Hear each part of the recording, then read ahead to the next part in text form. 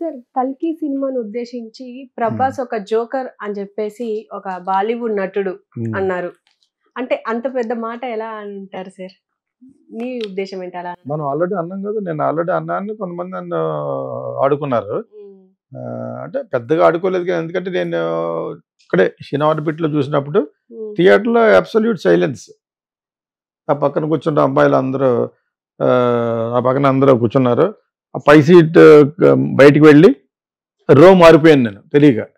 అక్కడ నలుగురు అమ్మాయిలు ఉన్నారు ఇక్కడ నలుగురు అమ్మాయిలు అదే అనుకుని మిస్టేక్ అయ్యి మీరు కూర్చున్నాను. తర్వాత నాకు వచ్చి ఫుడ్ ఆర్డర్ చేస్తాం కదా అది అక్కడ చేస్తా కూడా నేను రా చెప్పాను అనమాట అది. అప్పుడు అర్థం లేదు చెప్పి కూర్చొని వెంటనే వాళ్ళ పలకాయించాం కదా.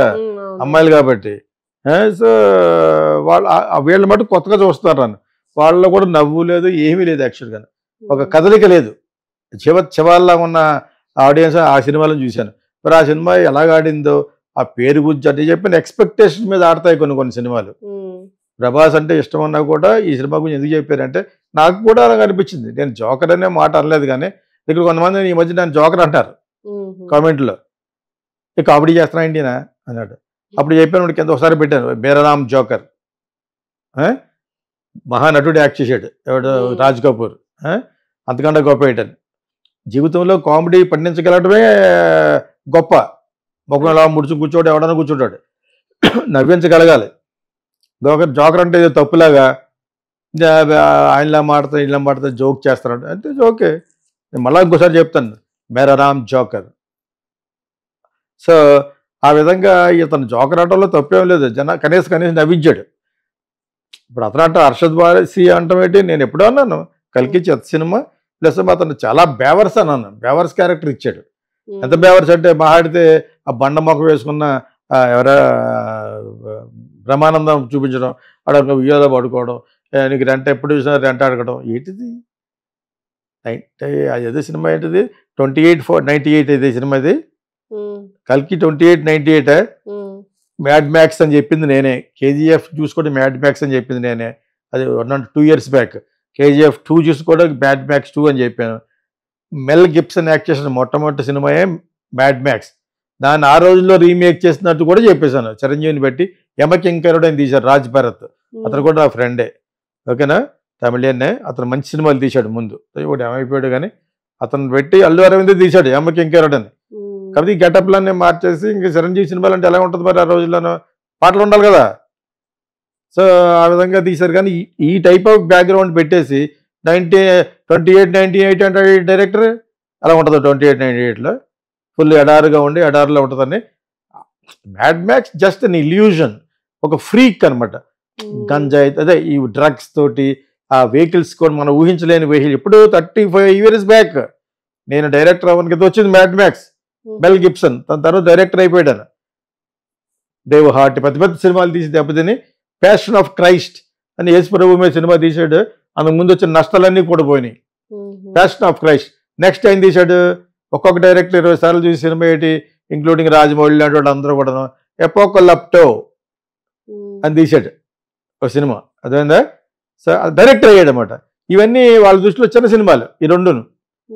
బ్రేవ్ హార్ట్ లాంటి పెద్ద పెద్ద సినిమాల్లో పోగొట్టుకున్న మూడైదు వందల మిలియన్ డాలర్స్ ఇరవై ఐదు మిలియన్ డాలర్స్లో తీసిన ప్యాషన్ ఆఫ్ క్రైస్ట్ అండ్ ఎకో ఎపోకలప్టోలో గడించాడు అతను. ఇప్పుడు అవి దర్శకులకు ఆదర్శం అయిపోయింది ఇప్పుడు. ప్రతి ఒక్కరు చూస్తాడు అది. ఎపోకలప్టో ఒక అడవిలో జరుగుతూ ఉంటుంది. ఫైనల్గా సినిమాలో సెంటిమెంట్ ఇండియన్ సెంటిమెంట్ వాడాడు. ఒక గర్భవతిగా ఒక అమ్మాయి ఒక నూతిలో పడిపోయి ఉంటుంది. ఆ అమ్మాయి పైకి రావాలి. ఫైనల్గా sentiment speaks soul of the movie అంటాను నేను. మా సినిమా వాళ్ళ గురించి మా స్టూడెంట్స్ గురించి మళ్ళీ చెప్పేది ఏంటంటే సౌలు ఉండాలి ఆత్మ ఉండాలి. అందులో. సో ఏ ఆత్మ లేదు సరిగదా? ఏదో ఒక ఊహకి అందనట్టుగా ఒక ఎడారిలో రకరకాల వెహికల్స్ ఇవన్నీ మ్యాడ్ మ్యాక్స్లో చూపించారు చెప్పాను ఆ సేమ్ థింగ్ కేజీఎఫ్లో చేశారు. తర్వాత కలికిలో తీశాడు. కలికిలో ఇంకొంచెం పెద్ద ప్లాట్ఫామ్ తీశాడు. పెద్ద పెద్ద ప్లాట్ఫామ్ ఉంది పెద్దవాడిని పెట్టాడు. అమితాబ్ బస్సు గాడడం అడుగు గాడు అందరూ డూపులే.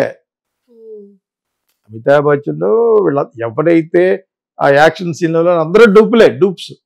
ఒక్కొక్కరికి ఇద్దరిద్దరు డూపులు. ఫైట్ చేసేటప్పుడు ఒకడు జంప్ చేసేటప్పుడు ఒకడు. అలా తీయాలి లేకపోతే అమితాబ్ బచ్చన్ అడిగేసి అడిగితే నేనే చేయలేకపోతున్నాను.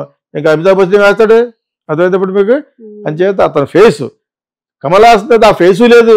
ఏదో చూపించాలి సెకండ్ హాఫ్లో చూపిస్తామని చెప్పేసి లాస్ట్లో ఇలా తిరుగుతాడు ఒకసారి. అప్పుడు తప్ప ఇంకెవట్లేదు కమలాస్ కాబట్టి ఎవరితో పట్టింది తీ తీయచ్చు. ఇప్పుడు శంకర్ చేసిన అదే పని. నేను ఒకసారి విశాఖపట్నంలో వెళ్తున్నాను మొన్న బీచ్లోను ఒక ఒక వెయ్యి మంది జనాలతో బీచ్లో తీస్తారు. ఇది ఏంటంటే కమల కమల డూపుడు అంటున్నారు. అతను పెట్టి తీస్తున్నాడు. అర్థమైందా? అది తీయడం తప్పని కాదు. ఇప్పుడు ప్రస్తుతం జరుగుతుంది అదే. వాళ్ళకు కొన్ని ఇమేజ్ను వాడుకోవడం కోసం ఆ ఫేస్ని ఐదారు సార్లు చూపిస్తారు. అంతే. మిగతా చేసేదంతా డూపులే. లేకపోతే ఈ వయసులో అక్కడే చేస్తారండి ఇక్కడ నుంచి అక్కడ జంప్ చేసి పోతాడు. ఆ జీప్ ఈ జీప్ దూకాలన్నారు బెడ్లన్నీ పెడతారు. పెట్టాడు ఈ దడు విరిగిపోద్ది. అంచేత నేను దాన్ని తప్పట్లేదు అమితాబ్ బచ్చన్ అసలే కాలు గీసేసి కాలు వేయడు కాకపోతే నడుస్తున్నట్టు కౌన్ పనిగా కరవరపతిలో ఒక కింద స్టిఫ్ ప్లాట్ఫామ్ వేయించారు.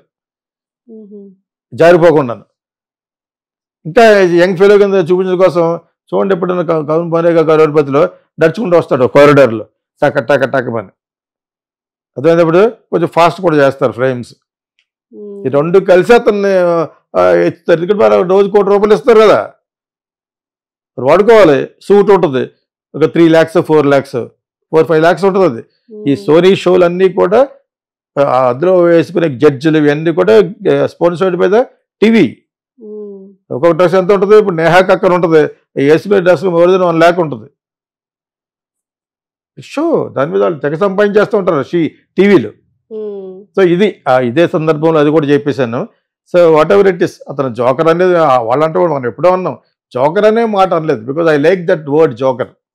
Joker అంటే ఏంటి? నవ్వించేవాడు. జోక్ చేసేవాడు. కదా?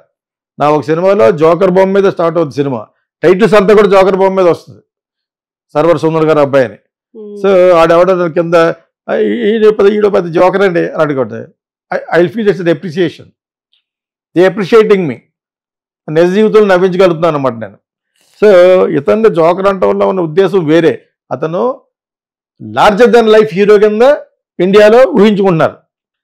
ఇండియన్స్ లివింగ్ అబ్రాడ్లో కూడా ఊహించుకున్నారు అంటే చాలా పెద్ద స్టార్ కింద లెక్క ఇండియాలో లార్జర్ దెన్ లైఫ్ స్టార్ కింద లెక్క ప్రభాస్ని. అందగాడు సెక్స్ సింబల్ ఫర్ గర్ల్స్ ఎన్నోసార్లు చెప్తున్నాను even in spite of all that I still like him okay ఇటువంటి ప్రభాస్ని జోకర్ వాడన్న ఉద్దేశం వేరు. ఒకటి అసూయ బాలీవుడ్ ఇంత జో జోకర్గా ఉన్నాడు ఆయన కూడా వెయ్యి కోట్లు పన్నెండు వందల కోట్లు కలెక్ట్ చేసేసిందని ఆడు ఇంకొక ఒక జ ఒక క్రిటిక్. వాడు అన్నిటికీ అంటాడు ఆ క్రిటిక్ కూడా పేరెత్తికి వేస్ట్? అనవసరంగా ఆడిని పాపులర్ చేయడం వాడు అన్నాడు. ఇది అటు మనం అన్నమాటే బేవర్స్ గాడు ఆ క్యారెక్టర్ బాగలేదు మేబీ డైరెక్టర్ కరెక్ట్ ఏమో. వాడికి ఆ బేవర్స్ క్యారెక్టర్ ఇస్తేనే జనాలు like చేశారేమో. But I don't think so. The క్యారెక్టర్లో ఒక కన్సిస్టెన్సీ లేదు ఒక ఒక దానికి ఒక వీరత్వం లేదు ఏమి లేదు. That it's it's neither heroic film or అద్భుతం అని ఉంటాడు. అక్కడక్కడ జోక్గా మాడుతూ ఈ రాజమౌళి వెళ్ళిపోతుంటే మాడటం ఇంకోటి ఎవడో వెళ్తూ పోవటం సినిమాలో లేదు వాళ్ళకి వచ్చిన కారు ఇచ్చారు. చూసారా? అంటే వెళ్ళిపోతుంటే మాడుతూ ఉంటారు. ఇవన్నీ చూసి వాళ్ళు జోక్గా అనిపించింది. Rajamouli also known in Bollywood also today ఎందుకు పెడితే తప్పే ఉంది? రామ్ గోపాల్ పెడితే తప్పే ఉంది అని పెట్టారు అనమాట ఓకే వీళ్ళతో పాటు వాళ్ళు కూడా జోకర్ల కింద అయినట్లు లెక్క. ఆ, నీ దగ్గరికి వస్తే నన్ను నన్ను ఐదారు సంవత్సరాలు వదలం.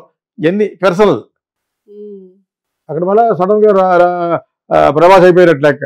దానికి ఒక కన్సిస్టెన్సీ లేదు బట్ ఓకే సినిమా సినిమా ఫైనల్గా దేనికి? ఎంటర్టైన్మెంట్కి అవును. డైరెక్టర్ వాళ్ళు ఏమనుకుంటారు? Either whether we are entertaining using Prabhas or not. నువ్వు జోకర్ అనుకో బ్రోకర్ అనుకో ఏమనుకో జనాలు ఎంటర్టైన్ అవ్వాలి. అవ్వాలంటే ప్రభాస్ లాంటి వాడితో చేయిస్తేనే చూస్తారనేది నగ్న సత్యం తెలిసిన డైరెక్టర్ ఏమో బహుశా. డైరెక్టరే కరెక్ట్ అయ్యి ఉండొచ్చు. వీళ్ళు ఎవరు జోకర్ అన్నా జోకర్ వాళ్ళ సగం అసూయతో అంటారు. బాలీవుడ్ ఈజ్ ఫాలోయింగ్ ఇప్పుడు ఒక సినిమా చేయాలంటే షారూఖ్ ఖాన్ వాళ్ళది చాలా ఆలోచించాలి. ఆ డైరెక్టర్కి స్టూపెండస్ సక్సెస్ ఉండి అలాగే కదా మన ఏమంటే పట్టుకెళ్ళి అల్లగా ఉన్న డైరెక్టర్ని తమిళ నుంచి పట్టుకెళ్ళి డైరెక్ట్ చేయించాడు కదా మన లాస్ట్ సినిమా. ఇన్ని ఆలోచించి చేయాలి. మరి ప్రభా ప్రభాస్ అలా కాదే. ఆడు ఎవడో కొత్త వాడికి ఇచ్చాడు. ఇంకోటి ఎవడో తెలియనోడికి ఇచ్చాడు. ఇప్పుడు తనతో డైరెక్ట్ చేసే వాళ్ళందరూ కూడా పెద్ద అడ్రస్ ఉన్న వాళ్ళు ఏం కాదు. వన్ మూవీ టూ అంతే కదా? ఇందాక చెప్పిన డైరెక్టర్ కూడా ఒక ఒకటి రెండు సినిమాలే కదా ఉన్నాయి. అంటే ప్రభాస్ పేరు మీదే వెళ్తుంది. ఆ విధంగానే కల్కి డైరెక్టర్ ఎన్ని చేశాడు? రెండు మూడు చేశాడు. ఓకే? అంత పెద్ద ఇండియా అంతా తెలిసిపోయే డైరెక్టర్ ఏం కాదు కదా? ప్రభాస్తో తీసాడు కాబట్టి తెలిసింది. అంటే ప్రభాస్ పేరు మీదే ఆడుతున్నాయి సినిమాలు. Prabhas has become larger than life and is become a man of his own image in entire Indians in abroad ఏమైనా వాళ్ళు కూడా చూడొచ్చు. Other people also can watch I can I think he is the real global star Prabhas. అటు joker అనుకున్నా ఏమనుకున్నా